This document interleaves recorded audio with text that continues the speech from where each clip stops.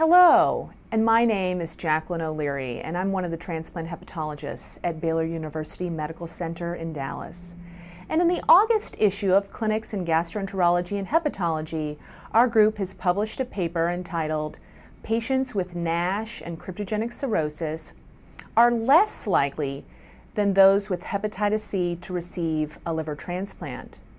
For this paper, we evaluated uh, all patients who were referred to Baylor University Medical Center with a diagnosis of NASH and cryptogenic cirrhosis and compared them to the hepatitis C patients. Specifically, 415 NASH cryptogenic cirrhosis patients and 1,232 hepatitis C patients were evaluated between March of 2002 and May of 2008. 48% of each group was denied. NASH cryptogenic cirrhosis patients were older, more likely to be female, had a higher BMI, a lower GFR than their hepatitis C counterparts, and 72% were denied for comorbid conditions. Of the hepatitis C patients who were evaluated, 27% were denied for comorbid conditions, and 39% were denied for psychosocial reasons. We then compared the patients who ended up being listed in the two cohorts.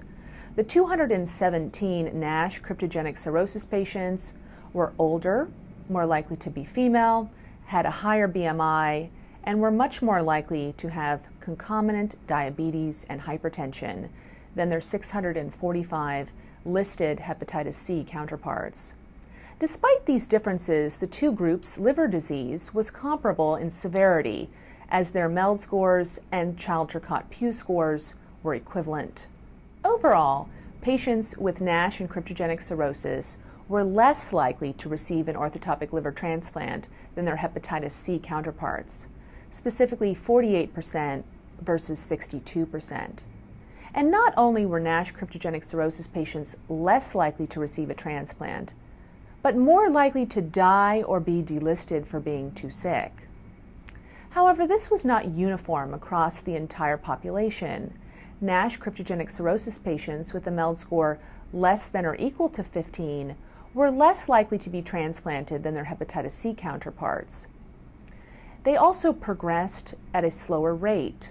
The median MELD progression was 1.3 MELD points per year versus 3.2 MELD points per year in the hepatitis C infected patient population. In stark contrast, NASH cryptogenic cirrhosis patients listed with a MELD score greater than or equal to 16 had an equivalent likelihood of receiving an orthotopic liver transplant compared to their hepatitis C counterparts.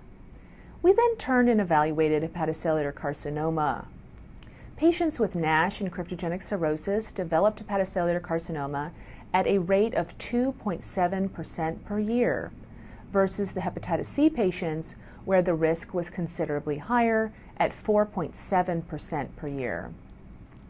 In conclusion, patients with NASH and cryptogenic cirrhosis and a low MELD score have slower disease progression than patients with hepatitis C associated cirrhosis and are less likely to receive an orthotopic liver transplant.